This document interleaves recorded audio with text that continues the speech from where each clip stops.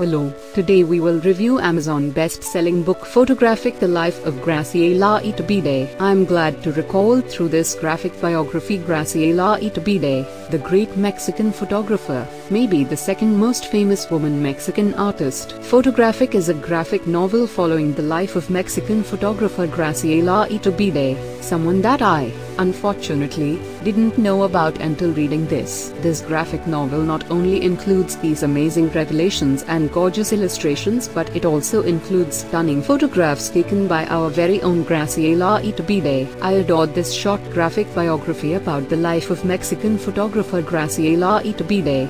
Photographic, The Life of Graciela Iturbide was commissioned by the J. Paul Getty Museum in Los Angeles, I imagine, because Mexican photographer Graciela Iturbide deserves to be known by young people. Iturbide had the opportunity to work with other very talented photographers including Manuel Alvarez Bravo, who showed her that photographs should not be staged but rather waited for. Quintero and P's artfully crafted graphic biography of Graciela Iturbide glides readers back and forth through Iturbide's life, circling and briefly roosting in the locations where Iturbide graciously engages others through her camera. Includes several photographs by Graciela Iturbide, as well as drawings of the events and locations she photographs. Photographic explored the life of Graciela Iturbide, a Mexican photographer. Right now Photographic the life of Graciela Iturbide is best-selling book in Amazon.